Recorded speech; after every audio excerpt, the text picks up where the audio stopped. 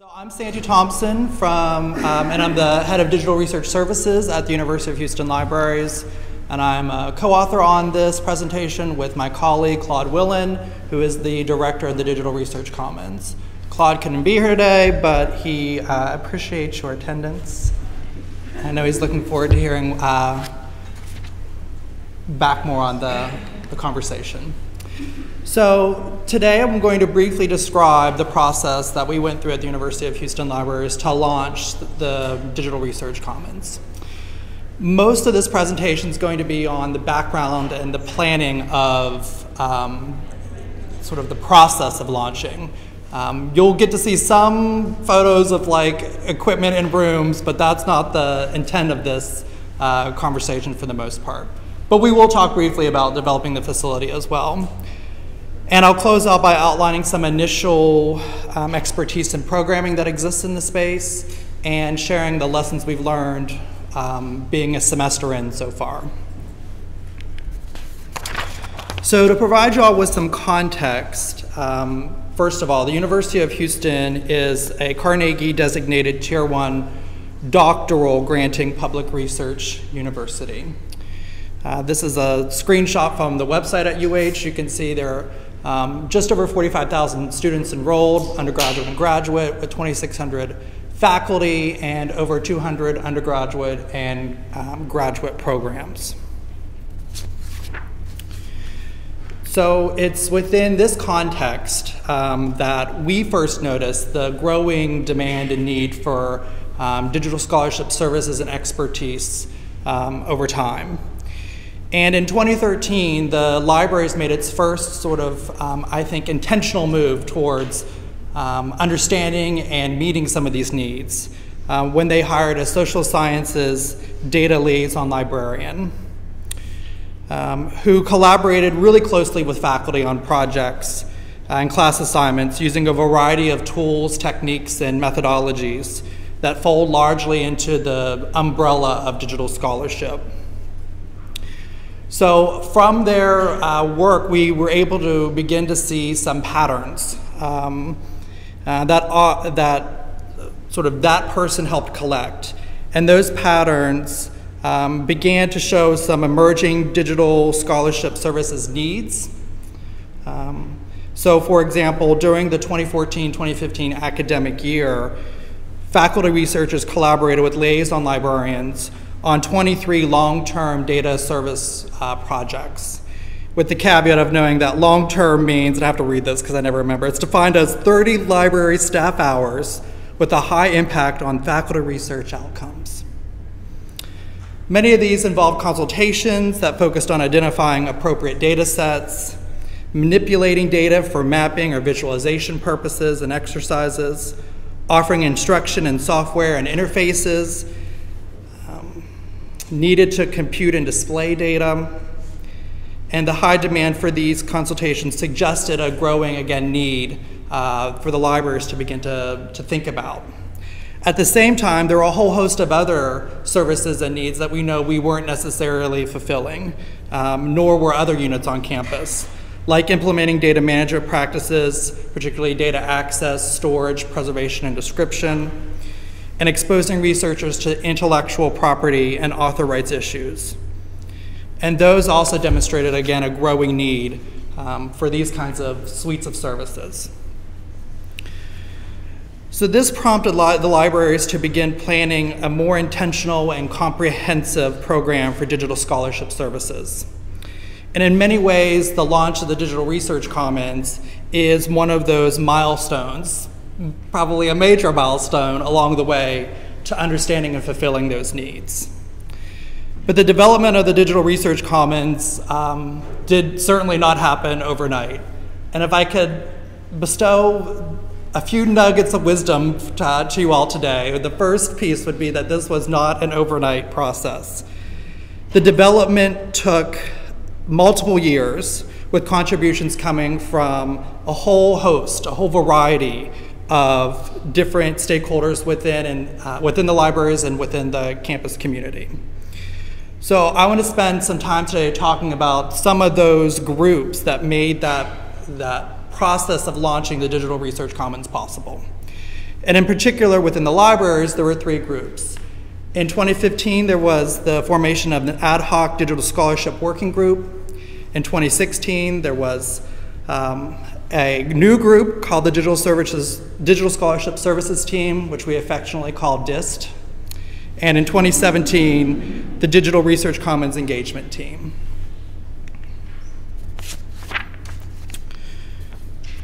So the ad hoc group uh, that formed in 2015 was comprised of 15 librarians, staff members, and administrators who came together to discuss the possibilities of digital scholarship.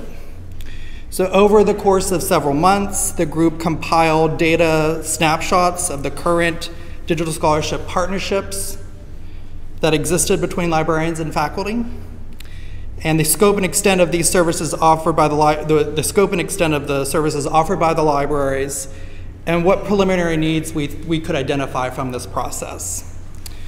So, while this group identified this sort of anecdotal evidence, uh, for supporting new programs and resources. Additional research was really required to, to uh, move forward in an informed, data driven way.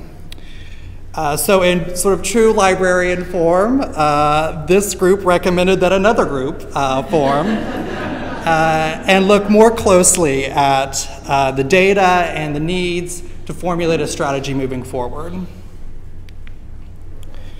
And true to form, uh, Libraries Administration took that advice and charged a new group, DIST, or the Digital Scholarship Services Team, to enact these recommendations.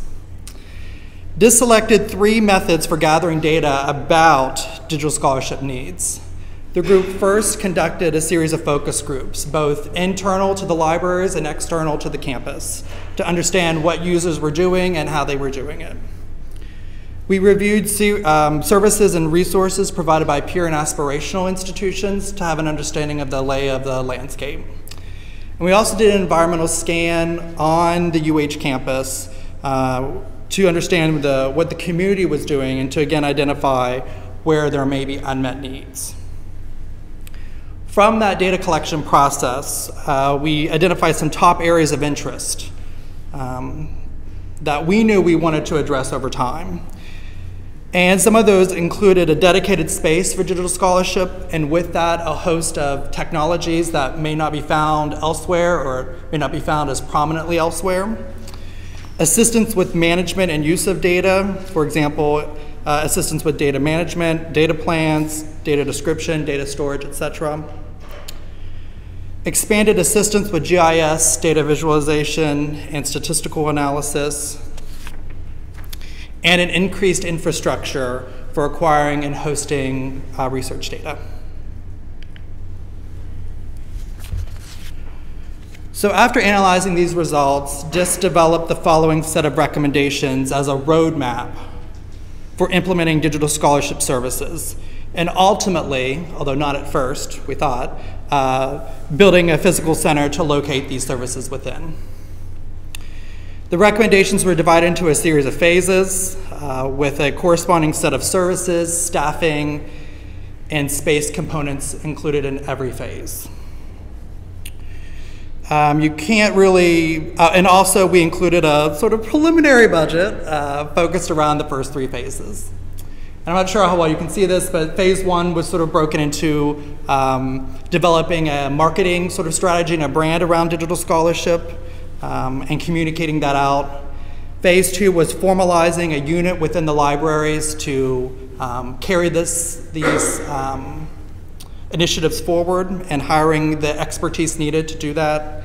Phase three was uh, planned to build the space to house this and to create a community um, across campus in a central location. And phase four was to consolidate some of the other existing services and um, opportunities within the libraries within that space. And each phase had a very sort of different timeline. Some of them overlapped. The idea was that it, it should have it should be iterative and um, it should uh, sort of build upon one another using evidence from the previous phase to inform the next.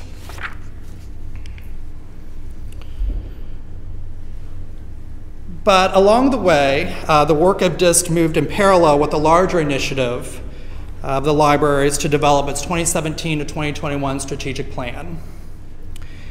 And uh, really remarkably, some of the DIST recommendations integrated into that library strategic plan. And in particular, we have four goals in the strategic plan. One of those goals um, is focused specifically on advancing research productivity. And this particular goal was heavily influenced by expanding digital scholarship services. And because of this integration, the priority and timeline for developing, in particular, physical space, in conjunction with some generous support from the University of Houston's Division of Research, accelerated and rearranged the tasks that, that this team worked so hard to orchestrate. Um, and so the establishment of a formal department and uh, the establishment of a physical space became far more prominent uh, far sooner than we had anticipated. So that led to a third group, uh, the Digital Research Commons Engagement Team. Because there was this new focus on space and on moving things forward in a more uh, accelerated pace. Uh, this group got together um, to identify needs uh, by drawing on some of the existing data that we had already collected, and also by drawing on um, other um, libraries data that existed through user surveys. Um, drew, drew upon all those sources to identify needs um, that would then be uh, used to generate UH-specific use cases for the kinds of space, technology, and software needs we knew we would need to fulfill in a new space.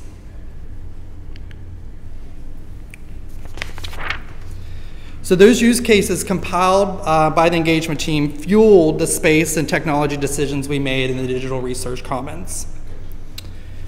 With the work of this group, um, we had the high hopes uh, of launching uh, this space in the fall 2017 semester. Uh, Mother Nature had other plans uh, for the University of Houston and for the City of Houston. Um, and I think a weekend, maybe two weeks into that semester, a little uh, phenomenon called Hurricane Harvey hit um, and delayed our, our plans. But we were happy to be able to launch this space this semester in January of 2018. Um, the space itself is sort of uh, intended to be multi-purpose with, um, and I'm not a space person, I don't understand space lingo, but I learned that there are neighborhoods in spaces. Um, and this, uh, the Digital Research Commons has several neighborhoods, including small and medium-sized group uh, areas to meet and to collaborate, uh, computer kiosks with uh, higher-end computing capabilities, um, informal or casual meeting areas to sustain and um, cultivate that sense of community, and individual workspaces for those who um, are, I guess, digging into their data and need to do it alone. Almost everything is on wheels, it's adaptable, it's movable, it's made to be functional and to meet the, the needs of a particular group uh, at, at that point. We also have invested in um, screens to, do, to make a visualization wall, and that, while still in progress, will enhance the kind of um, interactions and um, research available in the space. So along the way, um, we certainly had to think about what it takes to make a viable space that uh, could begin to meet some of these growing needs that we've identified over multiple years and multiple groups. But at the same time, we also had to build the expertise and the suite of services that um, will, would make that, that space relevant to folks. So we began by hiring two additional librarians to assist with the development of digital research uh, services uh, being a, one being a digital scholarship coordinator and the other being Claude Willan, who is the director of the Digital Research Commons. Uh, semester in, uh, our sort of startup philosophy has emphasized establishing a broad set of opportunities for those interested in digital scholarship. Um, and much of the work we've done has been outreach driven. So in the first two months, um, the director, Claude, held over 20 one-on-one meetings uh, with faculty to understand their needs and to begin to cultivate some of the research agendas that could drive uh, the research commons moving forward.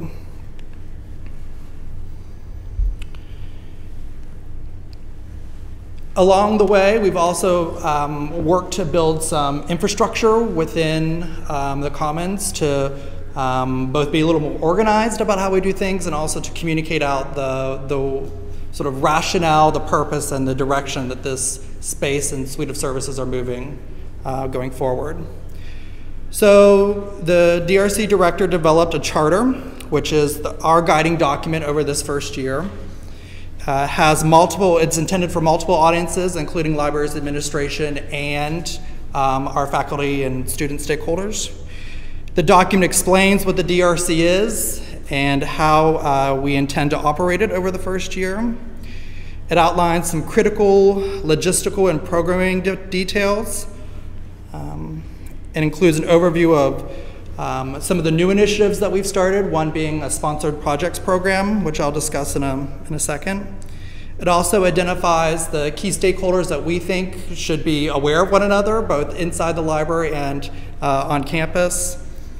And uh, within the document, we've also sort of given a preliminary list of programming that we think would be important, and we've um, given a timeline for how we intend to unveil that, that programming.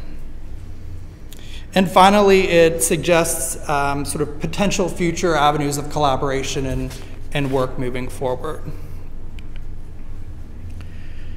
So critical to enacting that um, charter uh, is being able to sort of um, share the expertise we now have in-house.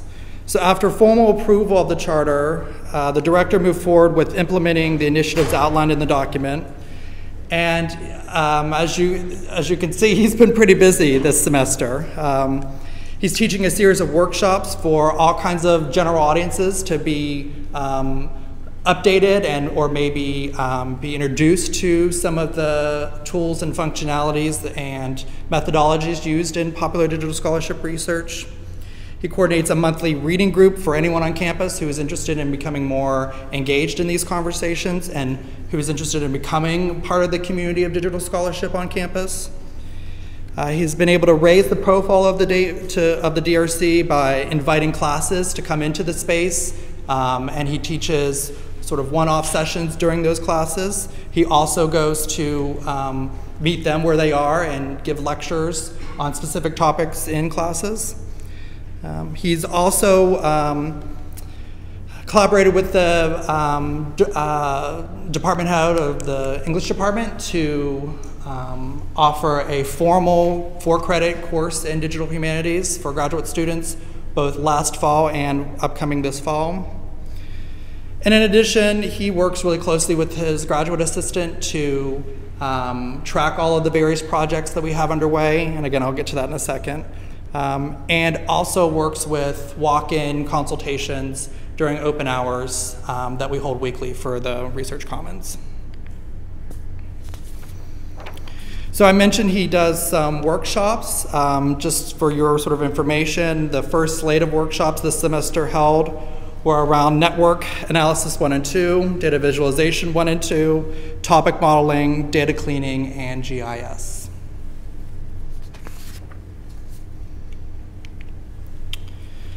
I also mentioned that a core part of how we are um, implementing and moving forward the um, goals of the Digital Research Commons is through the Sponsored Project Program. This was launched uh, this semester in January of 2018. It's a call for projects process where we offer, um, for those projects accepted, um, funding from the libraries to execute a formal project proposal. Um, and as such, um, those projects, uh, once approved, have to articulate a plan for providing a minimal viable product, an MVP, by um, August of 2018. And we, uh, and so the, the list of projects are listed here. We were able to fund six this first round, um, all of various sort of interesting uh, topics. Uh, but we see the benefits as sort of several fold. Um, we certainly think that this kind of work, um, by giving faculty and students the ability to um, pursue their projects, expands the visibility and the utility of the Digital Research Commons. It sort of creates a built in audience of sorts and generates additional need moving forward. Um, it also helps to indicate uh, a larger shift, I think, in the world of libraries, um, where libraries are more and more being committed to fostering scholarship from within the library itself. Um, and we think it's helping to build again that broad community of digital scholarship um, enthusiasts on campus.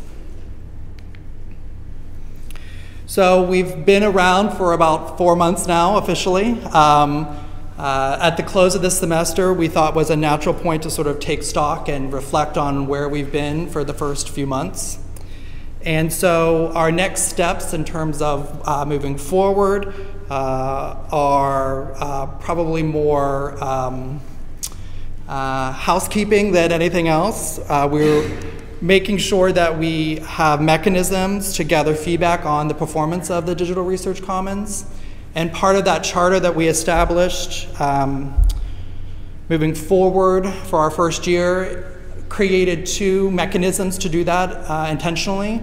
There are two teams that we have set up. One is an external team made up of um, faculty stakeholders primarily, so those who are doing direct research, their, their um, department heads, and a few representatives from the Division of Research make up that team, and we consult with them periodically to gauge the temperature and to see um, their sort of feedback as we move forward.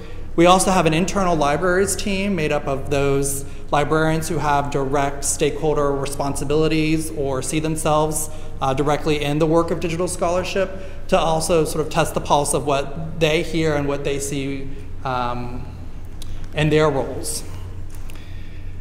That, in addition to some um, exercises that we're just now beginning to develop a framework for assessing um, the whole host of opportunities that we've offered um, will be sort of our um, on our agenda over the next few months. I'm not sure how many people have been paying attention to um, a recent flurry of conversation on the digital scholarship um, um, sections listserv for ACRL, but um, there's a, a, growing conversation right now on how do we assess digital scholarship services? What are the metrics we use? Um, what defines um, a successful project or successful service? And so we're going to be engaging in some of those thorny, um, interesting questions over the next coming months. I anticipate that we, we won't have a sort of one, one size fits all sort of set of assessment criteria. Um, and to sort of uh, be able to build those metrics moving forward will take some conversations with a whole host of stakeholders. So that could be a whole other uh, presentation you all maybe include into at some point.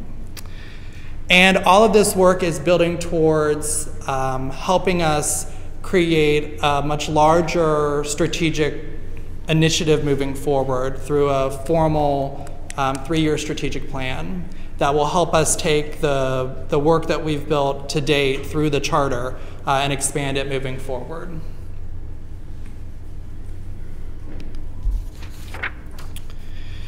So along the way, the launch of the Digital Research Commons has surfaced some cultural shifts within our library, and I think um, resembles similar cultural shifts occurring all across library land. Um, the DRC is one of the first research centers, uh, I, what I would call a research center within uh, the libraries itself, and as such is helping to sort of move us with so many other libraries being in the same scenario from a sense of knowledge curation, uh, which is a pretty traditional value of, of academic libraries, to a scenario or situation of knowledge production. And we're hoping that the budgetary discretion that we have will allow us to continue to um, move outside those typical library faculty partnerships um, with initiatives like the sponsored project programs to continue to fuel that momentum of moving towards knowledge production. So this initial period, um, this first semester, has also given us time to reflect on some of the lessons we've learned along the way. Um, as I showed you, our director is really busy doing some incredible, really engaging, um, innovative things for the University of Houston. Uh, but th- the director expertise only model is not sustainable uh, beyond maybe a few more semesters. So we have to begin thinking about what, um, what priorities and areas of focus the directors should be engaged in, and how do we leverage the talent and the leadership we have in the libraries to expand that broad base of knowledge even more. We also notice that um, culture shift is slow. Changing culture takes time. Um, and becoming a center of knowledge production will take time both for other librarians, internal and faculty external to the libraries, to acknowledge and to understand. We've also learned a thing or two about sort of the idea of integration um, and integrating services, uh, some more challenging than others. Um, it's interesting to take years to plan a, a, a, space and a suite of services and to enact that and not have a director there to help along the way.